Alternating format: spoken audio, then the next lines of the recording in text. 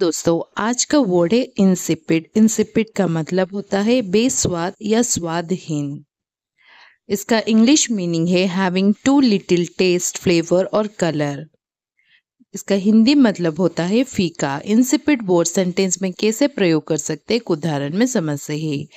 Canned coffee taste इधर हार्ट्स और इंसिपिड इसका मतलब होता है डिब्बा बंद कॉफ़ी का स्वाद या तो कठोर या फीका होता है। इसी के साथ मिलते एक नए वीडियो में ऐसे ही चैनल के साथ जुड़े रहिए और हर दिन नए नए वोट सीखते रहिए। चैनल को लाइक शेयर सब्सक्राइब कीजिए। धन्यवाद।